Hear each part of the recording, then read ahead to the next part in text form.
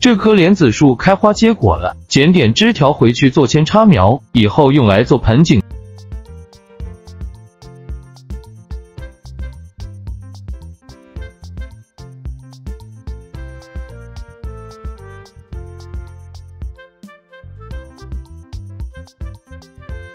从中间剪断，可以做两棵不同造型的扦插苗。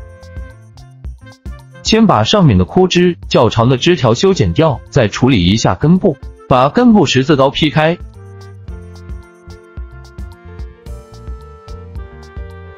再把根部十字刀劈开的位置用两个小树枝交叉撑开，这样扦插长出来根系是非常多的。在小树枝撑开是可以防止它后面长一合的。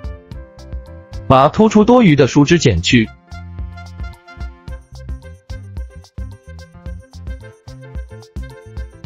根部分成四瓣，之后会长出四个独立的根系。育苗袋底下铺一层松软的营养土，先粘好粘子，之后上面再盖好营养土，一次性浇透水分。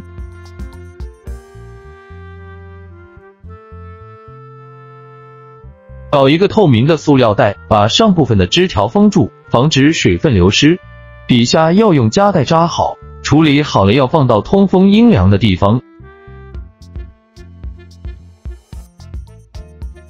等待生根发芽，不要放到阳光下暴晒，一般半个月就可以生根冒芽了。剩下另外一株也是用同样的方法来处理。